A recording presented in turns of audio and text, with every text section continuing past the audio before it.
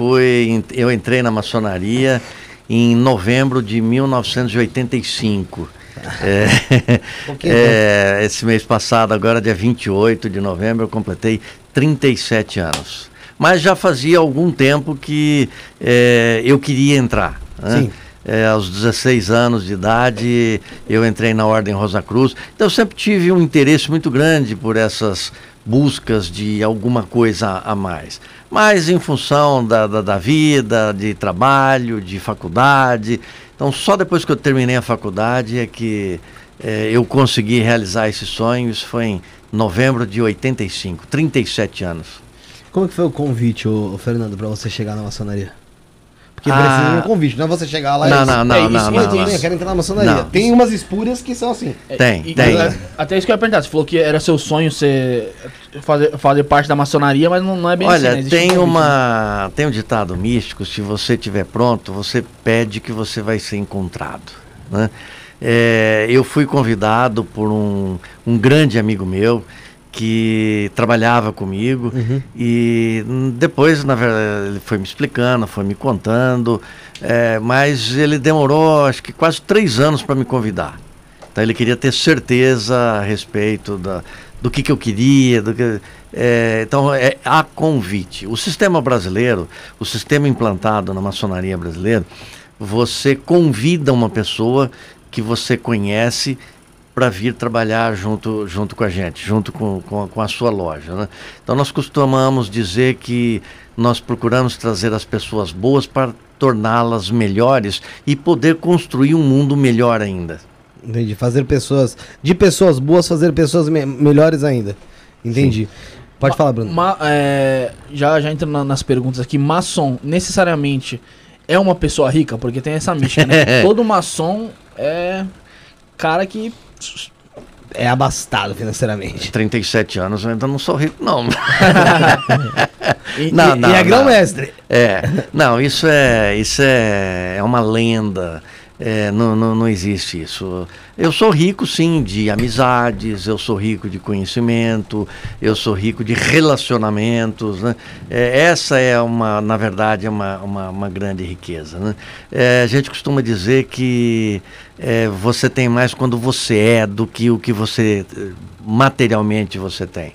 Materialmente, bate o vento e leva tudo embora. Aquilo que você constrói dentro de você, ninguém te tira. Sim, sim, sim. O dinheiro ele é, o dinheiro ele é passageiro. É. Né? é. Tem uma pergunta aqui, ó, do José, acho que deve ser José Eduardo Júnior, não sei se é do pessoal lá do, do SL, se for me confirma. É, ele perguntou se hoje existe algum tipo de problema é, entre, a, do, entre o Grande Oriente Paulista e o GOB, que acho que é o é Grande, Grande Oriente do Brasil. do Brasil. Não, não, não.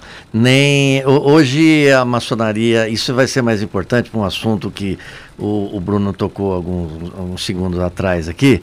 É, no Brasil hoje tem três grandes vertentes da maçonaria é, chamada de regular. O que, que é a maçonaria regular? É a que é reconhecida no mundo, no mundo todo, que nós temos um, um, um relacionamento em todo o mundo que é a, a, a, os Grandes Orientes Independentes, do qual no estado de São Paulo é o Grande Oriente Paulista, Sim. que eu faço parte, o Grande Oriente do Brasil e também as grandes lojas, que aqui no estado de São Paulo, a grande loja maçônica do estado de São Paulo. Hoje nós trabalhamos na mais absoluta paz e amizade. É, eu costumo dizer que eu tenho um, um grupinho de, de, de WhatsApp, agora tudo é WhatsApp, que são os três grãos-mestres, eu e os outros dois grãos-mestres. Então, tudo que a gente tem dúvida, quer convidar, quer trocar uma ideia, quer marcar um almoço, é pelo WhatsApp em tempo real. Aqui. Papapum. Ô, ô, Fernando, é, pessoal, já tem, tem muita gente fazendo pergunta, tem pergunta interessante aqui.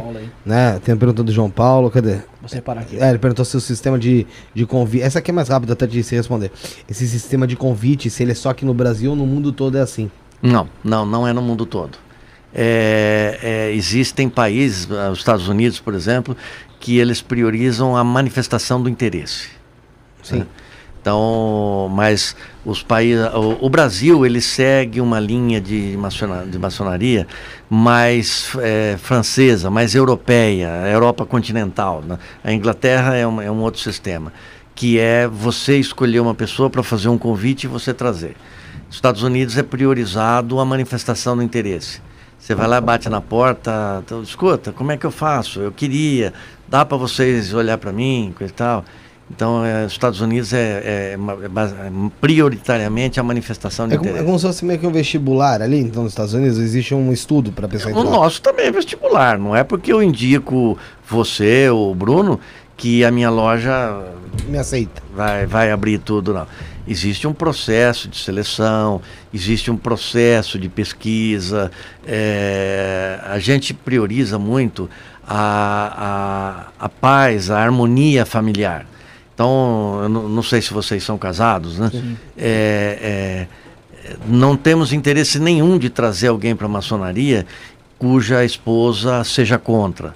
Por que, que pode ser contra? Por preconceitos religiosos, por, por desconhecimento. Não, misticismo colocado em cima da maçonaria mesmo. Por misticismo colocado em cima da maçonaria. Antigamente se dizia, olha, não vai lá não, não entra não, porque o dia que você quiser sair, eles vão mandar te matar. né? Então, tem, ainda existe esse, esse tipo de preconceito. Então, não é um interesse nosso de causar nenhum tipo de, de desarmonia ou desequilíbrio na vida de ninguém. Então, mesmo eu convidando algum amigo, os não não eu, mas os, os meus pares, os outros maçons, vão proceder a uma análise, vão, vão na sua casa, vão conversar com você, vão, meu, você está querendo ir lá? Para que, que você quer ir lá? Por quê? Qual é o teu interesse? Uhum. Não tem uma, uma sindicância, vamos dizer assim. É, até mais tem muitas pessoas que querem entrar por pura curiosidade também, né? Porque eu ouvi falar que quem entra vai ficar rico. Sim. Tem, tem gente que pensa isso. Na verdade, foi explicado pra gente aqui uma vez o seguinte: não é que quem entra fica rico, nada do tipo. É que o maçom ajuda o maçom. Também. Em princípio, sim, mas dentro de um critério de. de, de ética. De, de, ética. Sim, isso, sim, sim. Isso. Eu tô dizendo, por exemplo, eu preciso. Eu preciso de uma porta para Marceneiro, você precisa de um marceneiro. marceneiro. Eu, eu sei que é, da sua loja é, é, uma marcenaria. Por exemplo, eu não sei eh, se vocês já foram ou são comerciantes. Né? Você vai, você vai no, no, numa casa de material de construção para comprar prego. É muito comum, pô, tá caro, e o, o proprietário te, te, te, dá 10% de desconto, Sim. 5%, 20%, sei lá. Então é, é esse o princípio. Se eu estou atendendo você, que é meu irmão maçom, por que, que eu não posso te oferecer um desconto que eu também ofereço para outros é, clientes? E se você é, é, é, um comerciante de que eu preciso do Por que, que eu ali. também não posso priorizar você em detrimento de outros? Isso acontece na vida social. É, é, é. Normalmente. Então, na, na, verdade, existe sim um, um networking, existe uma aproximação dentro, você falou a palavra absolutamente correta, dentro de um conceito ético, Sim. dentro de uma transparência, de uma amizade. É, você vai comprar, pô, é legal, eu vou lá comprar uma pizza na tua pizzaria, de quebra tem um bate-papo, de quebra tem uma, uma conversa, senta junto. É, é, tem essas, essas questões. Então, né? uma amizade como muita gente faz, vamos supor, vai no, na faculdade, do ensino médio, continua uma amizade pós, pós o curso ali. Tem uma... Melhor. É, não, mas eu digo assim, que existe é, é essa aproximação que a. É. Um exemplo né? É, depois eu vou contar o segredo da maçonaria. Vai contar o segredo? Vou contar. Então, o pessoal, que, o pessoal que tá na live, então, Felipe, fique na live, compartilhe. O pessoal que tá chegando aqui pelo Fernando, pelo no pessoal final, que, que, que compartilhou e não tá conseguindo mandar mensagem, por quê? Porque não é inscrito no canal. Exatamente, Bruno. Como é que faz? Tem que se inscrever no nosso canal, você consegue mandar sua mensagem, espera um pouquinho lá. Você já consegue mandar sua mensagem. Quer mandar sua pergunta? Quer ajudar o programa? Super chat do lado aí tem um cifrãozinho. Você consegue mandar é, a partir de 5 reais sua pergunta fica em destaque. Isso. Ou se não, através do nosso Pix, que o Maicon vai fazer o trabalhinho dele ali, colocar aqui em cima, que é a chave Pix é o e-mail, tá? Isso não é podcast, arroba gmail.com. Fácil. Aí o Rafael vai tirar print lá e vai me mandar, se ele estiver vendo a gente aí, ele já me manda, correto, Fefe? É isso aí. É, Bruno, interessante, tem bastante gente aqui no chat, aqui tem um pessoal que veio aí com certeza pelo Fernando, mandar um abraço já pelo, pro, pro pessoal do Grande Oriente Paulista aí, uh, que são aí os pares aí do, do A Estela tava com a gente aqui. A Estela tava aqui, eu não vi. Tá Estela, um beijão para você também, para você, pro Danilo, para todo o pessoal da sua casa. É, dentro de do, do, do, umas perguntas que estavam colocadas aqui, ô Fernando, Diga. tem uma pergunta que eu achei interessante fazer. Existe maçom ateu? Não. Não existe maçom, não, então. A não que... ser que tenha entrado mentindo. Mas não. É, é extrema, é fundamental e é a primeira coisa que vão perguntar para você uhum. se você acredita num ente superior, num ser superior. Sim. Esse é esse é o é o fundamental. É, é um princípio mundial, não é um princípio brasileiro. É um a norma de reconhecimento é a, a crença num ente superior, que na maçonaria brasileira nós chamamos do grande arquiteto do universo. É o princípio gerador, é o princípio que gerou, que criou, que engendrou é, é, todas essas questões. Então, não. Existem, acho que uma única escola filosófica dentro da maçonaria que não é ateu. É, é, ele, eles preferem a linha do agnosticismo. Sim. Eles seguem uma linha libertária tão independente que eles reservam a crença absolutamente pessoal. Você tem a sua crença, legal, tudo bem não se toca mais isso. Mas não, é, é fundamental. E em todas as nossas reuniões, é, na minha escola, por exemplo, é, é fundamental a presença do, do, do, livro sagrado, que pode ser da, da, da crença pessoal é, de cada um, a Bíblia, o Bhagavad Gita, é, o Evangelho segundo o Espiritismo, enfim, o Alcorão. É, nós temos uh, judeus é, maçons, nós temos muçulmanos maçons. É, é, importante a, a crença e a presença de um símbolo uh, da superior. Sua, superior, isso, isso. Entendi. Eu, por exemplo, até eu estava lá fora e o senhor me perguntou em relação à religião, se eu tinha religião. Hum. E eu falei que não, que não, não tinha religião.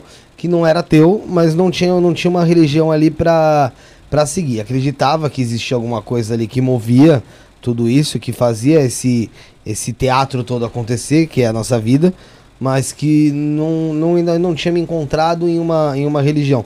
Esse tipo de pessoa é aceito na, na maçonaria? Ô Felipe, vamos fazer uma diferença, uma separação é, que as pessoas não costumam fazer. Uhum. É, separar religiosidade de, de entidades religiosas. Né? A palavra religião, ela vem do latim religare, Sim, que é você se religar ao princípio criador. Sim. É, o fato de você frequentar uma determinada entidade religiosa significa que você segue um dogma, que você segue uma linha dogmática. Sim. Igreja católica, muçulmana, judaica, enfim é, todas no mais absoluto respeito, né? Sim. É, mas o fato de você não ter, você não comungar na sua igreja, não quer dizer que você seja ateu. Não quer, quer dizer que você não tem uma linha dogmática pré-determinada. Então, a, a, nossa, o nosso objetivo é ter uma pessoa religiosa, não uma pessoa ligada a uma entidade religiosa. Então, vamos dizer assim, uma pessoa que tenha uma, uma consciência espiritual. É, sim, Isso. sim, sim. Que acredite que existe alguma coisa mais além do, do, do talão de cheque, além da, da, das coisas materiais, além da, da densidade. Da, densidade, né? Tá. É, então, dentro dessa mesma pergunta que eu fiz primeiro do ateísmo, tem uma outra pergunta muito interessante. E existe maçom evangélico? Tem, na minha loja tem dois. Na minha loja tem dois. É interessante porque é, é, tem de todas as confissões religiosas, né? nós temos. É, a minha loja tem dois evangélicos. É, é, tem os pentecostais são mais difíceis, né? Mas, mas também tem. É, eu tenho um, um, católico que segue a linha jesuíta, que frequenta a missa todo dia. Eu tenho acho que dois espíritas. Eu tenho um desses espíritas que é um bandista. É, então é, é, nós pregamos a mais absoluta liberdade de crença. Nós exigimos a crença. Uhum. Entendi, é engraçado, bem miscigenado lá dentro. Né? A pergunta é feita porque dentro do, do, do, do que pintam a maçonaria, muitos dos que é, a, a, demonizam são de boa parte é, é pessoas que são mais ortodoxas ali na. No, seguindo a, a, religião evangélica. Foi o que aconteceu, nos, foi, foi, foi, o que aconteceu nos últimos meses lá, que apareceu a foto do Bolsonaro na maçonaria. Sim. E muitas pessoas é, julgaram, falaram que por ele ser cristão, ele não poderia estar ali. Sim.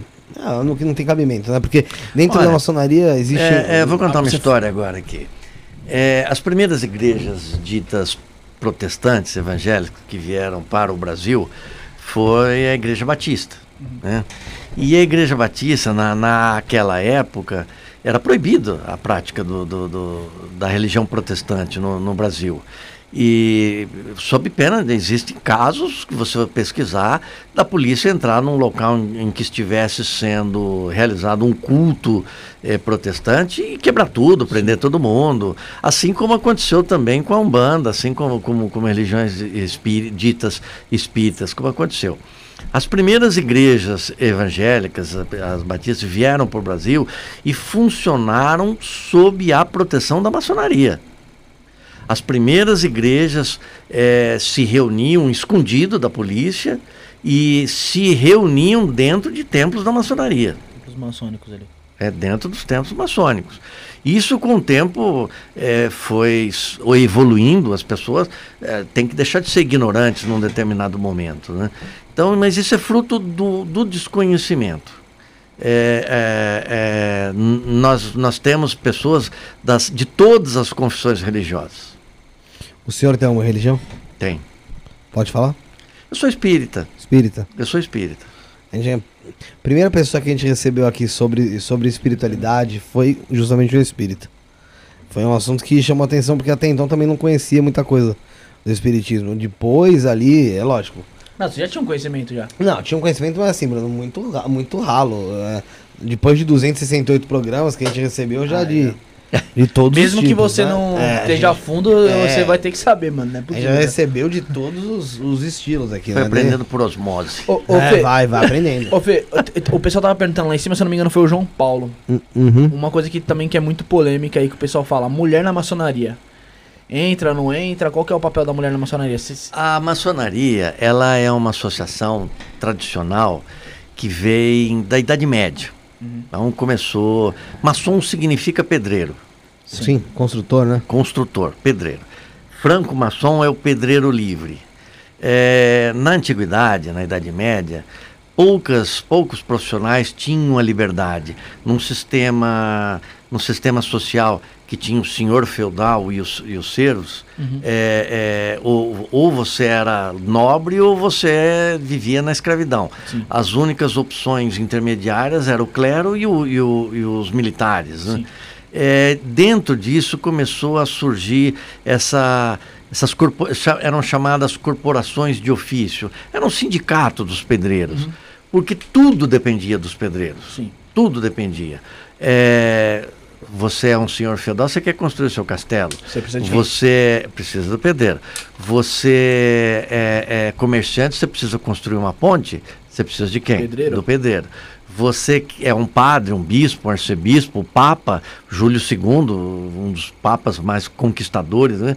É, é, ele precisava de quê? Precisava dos pedreiros para fazer as catedrais, ah, na Europa as uhum. igrejas são, são fabulosas. Né? Sim, então essa, essa, esse conhecimento ele começou a ser protegido e os pedreiros tinham uma, uma característica de eh, tinham a liberdade podiam se movimentar podiam com, com mais liberdade que as outras profissões não tinham e não tinha mulher pedreiro. Uhum. Na verdade, a história da, da, da, da, humanidade, o Brasil, a mulher adquiriu o direito de voto com Getúlio Vargas. Sim, há pouco tempo. É, no Brasil, a mulher de, é, conseguiu a igualdade de direitos com o marido, a, se não me falha a memória, em, na, em 1980. Sim. Até então, o marido era o cabeça do casal. Estava na lei, estava uhum. na lei. E também tem essa questão mais tradicionalista. Pouco a pouco isso vai, vai sendo rompido. Mas a maçonaria, como uma, uma associação tradicional, ela procura se ser mais lenta nas suas alterações. Né?